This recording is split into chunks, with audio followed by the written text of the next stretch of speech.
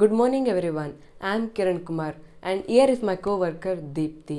We are happy to be a part of 29 National Children's Science Congress 2021.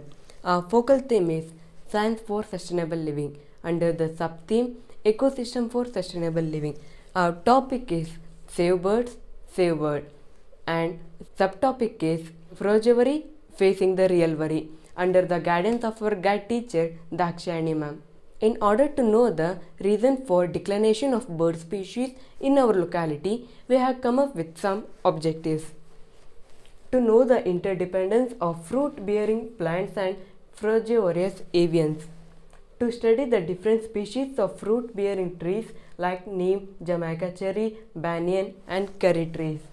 To list the number of species that appear in both JP Nagar and Srinagar via bird census to study the influence of human activities like cutting trees, signal towers on local frugivorous avians, creating awareness among the residents of JP Nagar regarding the local extinct birds.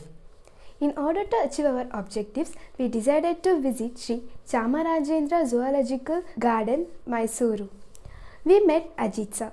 He told us that habitat destruction is due to the human activities is the main cause of declination of bird species and also adopted few birds in zoo. We visited to CSRTI and had suggestion from Jnanesh sir, junior scientist Mysuru. And we also had a talk with botanist Dr. Arjun Prasad Tiwari sir, scientist C, zoologist Dr. M. Vijay sir, scientist B, Regional Museum of Natural History, Mysore. We conducted bird watch, bird census and tree census with the help of R.K. Madhu sir, international wildlife photographer. Firstly, our JP Nagar is located in a such a unique geographical condition. To the east, we have Chamundi Hill. To the south, we have beautiful lakes like Dalwakere and Kejgalikere. Here we can find both aquatic birds like painted stork, great white pelican and Eurasian coot, and arboreal birds like coppersmith barbet and sunbird. To the north, we have a garbage where municipal solid waste management is established. To the west, a developed city where we can find too much of human activities. As the city started to develop, the human activity extend even to the natural habitat of aves. Day by day, new layouts are emerging and encroaching the farmland.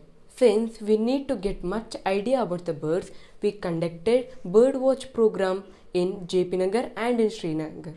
Based on birds' diet, we found avivorous birds that eats other birds. Example: falcons, shikra. Frugivorous birds that feeds exclusively on fruits. Example: coppersmith barbet. Granivorous birds eats grains or seeds primarily. Example: sparrow. Insectivorous birds. They are specialized carnivorous that feeds exclusively on insect. Example: flycatcher. Nectivorous birds that feeds on flowers, nectars. Example: hummingbird and sunbird. We conducted bird census in JP Nagar, which is in the heart of Mysore city, and also in Srinagar, which is located in the outskirts of Mysore city, where we can find diversity in flora and fauna. We have also participated in bird census which was conducted by Karnataka Forest Department Wildlife Division Mysore. From the bird census, we got to know that in JP Nagar we have less number of frugivorous compared to Srinagar. Insectivorous are more in JP Nagar when compared to Srinagar. We also noticed that frugivorous birds are finding more difficulties for their survival. Frugivorous birds are referred to as the gardeners of the forest. While birds benefits the nutrition they get from the fruit pulp. Plants benefits as the birds carry their seeds away from the mother plant before they dispersing them. For some species, the treatment that seeds receive the guts from the avians and enhance the ability to germinate and seeds escape from predation, competition and fungal attacks under the parent trees, thereby increasing the chance of survival. In JP Nagar, we spotted nearly 15% of frugivorous birds and 27% of insectivorous birds, and remaining were avivorous birds, nectivorous birds, and granivorous birds.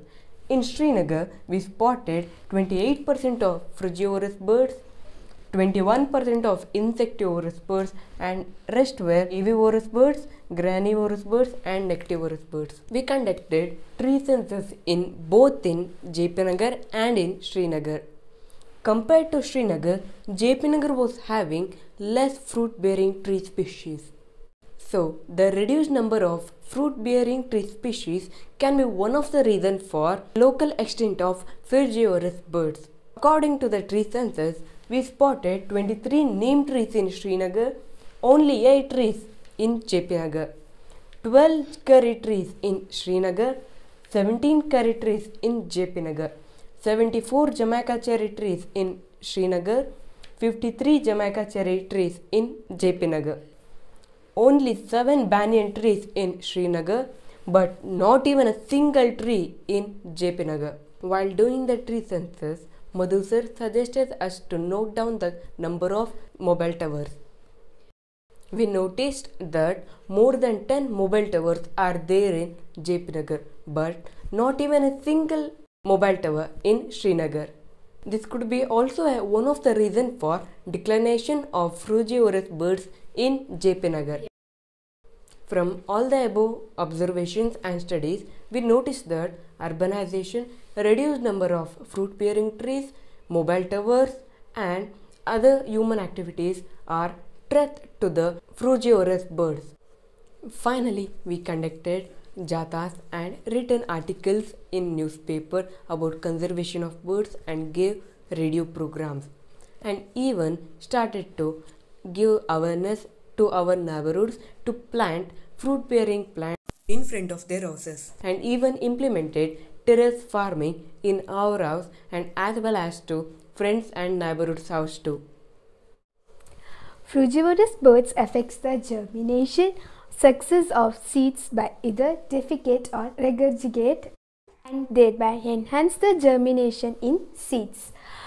Their specific dietary and habitat requirements makes them easily susceptible to traits like human induced habitat alterations thus their decline or local extinction may directly or indirectly affects the functioning of ecosystem so finally, we would like to thank 29 National Children's Science Congress 2021 for giving this big opportunity.